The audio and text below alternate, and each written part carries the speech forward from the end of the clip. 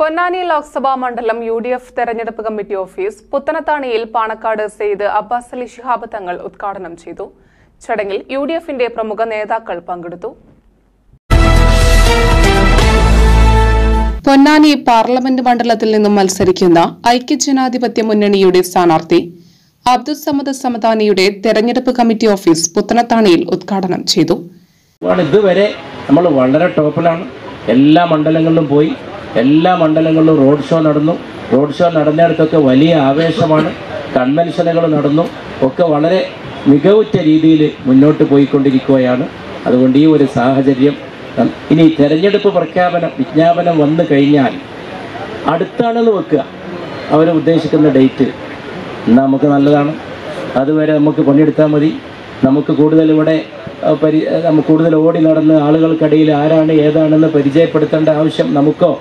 നമ്മുടെ നേതാക്കൾക്കോ ആർക്കുമില്ല. അതുകൊണ്ട് അത് നന്നായിരിക്കും. ഇനി അല്പം വൈകിപ്പോയി എന്ന് വിചാരിക്കുക. അതും നല്ലതായിരിക്കും. കാരണം റമദാനിൽ കിടന്നിട്ട് തിടുക്കട്ട് ഓടണ്ട. റമനാലിൽ അത്യാവശ്യമുള്ളത് ചെയ്താൽ മതി. ഈ പറഞ്ഞ മാതിരി മെയ് ലാസ്റ്റൊക്കെ ആണെങ്കിൽ നോമ്പ് പെരുന്നാൾ കഴിഞ്ഞ് ഒന്നര മാസം കിടക്കണം. അങ്ങനെ ആവുന്നല്ല ഞാൻ പറയുന്നത്. കേരളം സാധാരണ ലാസ്റ്റ് ഫേസിലേക്ക് വെക്കുന്ന ഒരു നടപടിക്രമമാണ് അവർ പലപ്പോഴും പുലർത്താറുള്ളത്. മറിച്ചു ആവാം. അവരെങ്ങനെയാണ് അവരെ മനസ്സിൽ കിടക്കണമെന്ന് ഇലക്ഷൻ കമ്മീഷന്റെ മനസ്സിൽ നമുക്ക് പറയാൻ കഴിയില്ല. അവരെല്ലാ കാര്യങ്ങളും കൂടി പരിഗണിച്ചുകൊണ്ട് തീരുമാനിക്കായിരിക്കും. എന്താണെങ്കിലും യു ഡി എഫ് കളത്തിലിറങ്ങി ആവേശത്തോടെ മുന്നോട്ട് പോയിക്കൊണ്ടിരിക്കുകയാണ്. ഒരു പോരായ്മയില്ല നമ്മുടെ നേതാക്കൾ തഴക്കം പഴക്കമുള്ള പൊന്നാനിയിൽ ഒരുപാട് കാറ്റും കോളിളക്കവും കണ്ടിട്ടും യു ഡി എഫിനെ യു ഡി എഫിന്റെ നൗകയെ വിജയകരമായി മറുകര എത്തിക്കാനുള്ള രാഷ്ട്രീയ പരിചയം നേടിയവരാണ് പൊന്നാനിക്കാരായ യു ഡി എഫിന്റെ നേതാക്കൾ. അതുകൊണ്ടൊരു സ്ഥാനാർത്ഥി എന്ന നിലയ്ക്ക് എനിക്കൊരാശങ്കയില്ല. നമുക്കൊന്നുകിലും ആശങ്കപ്പെടേണ്ട കാര്യമില്ല. വളരെ വലിയ പ്രത്യാശയാണ് ഞാൻ അല്പം മുമ്പും ചാനലുകാർ ഇവിടെ വന്ന് നമ്മൾ ഓഫീസ് ഉദ്ഘാടനത്തിന്റെ ഒരു വിശേഷത്തിൽ അവർ ചില കാര്യങ്ങൾ ചോദിച്ചപ്പോൾ ഞാൻ അവരോട് പറയണ്ടായി ഞാൻ നീട്ടി സംസാരിക്കുന്നില്ല. ഇതൊക്കെ പി ടി അജയമോഹൻ അധ്യക്ഷത വഹിച്ചു. അഷ്റഫ് കുക്കൂർ സ്വാഗതം പറഞ്ഞു.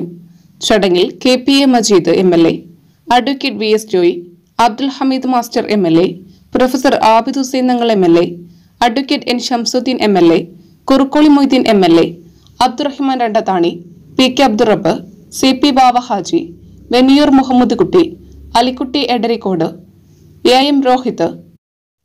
Ex M P C Haridas Saithalavi master M K Bava K M Gafoor Ibrahim Muthoor P S H Thangal Vasu Karayil Athavanad Muhammed Kutty P P Yusuf Ahmed Pafaki Thangal Haris Muthur Kottayil Kareem Vettam Alikoya K N Muthukoya തങ്ങൾ ബഷീറണ്ടത്താണി സലാം Valanchery M P Ashraf T P Haider Ali Abdulla കുട്ടി M Moosa Haji Kadampuzha Sharafudheen Pilakkal V A Wahab Kannan Nambiar M K Khalid Vinu Pullanur തുടങ്ങിയ നേതാക്കളും മണ്ഡലം ഭാരവാഹികളും പ്രവർത്തകരും സംബന്ധിച്ചു.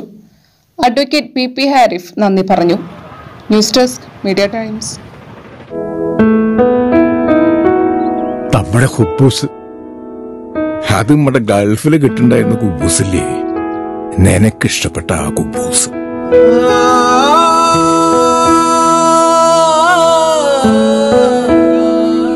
പ്രവാസികൾക്ക് മാത്രല്ല ഇപ്പൊ നാട്ടിൽ എല്ലാവർക്കും അൽദാൻ കുബൂസ് മാത്രം മതി. അൽദാൻ കുബൂസ് ഇപ്പൊ ന്യൂ ജനറേഷന്റെ ഇഷ്ട കുബുവല്ലേ ഷുഗർ ഉണ്ടെങ്കിൽ ഗോതമ്പിന്റെ കുബൂസ് ആവാട്ടോ. മലയാളിയുടെ ഭക്ഷണ താല്പര്യങ്ങൾക്ക് ഇനി പുതിയ സ്വാദ്. അൽദാൻ ലെബനീസ് കുബൂസ്.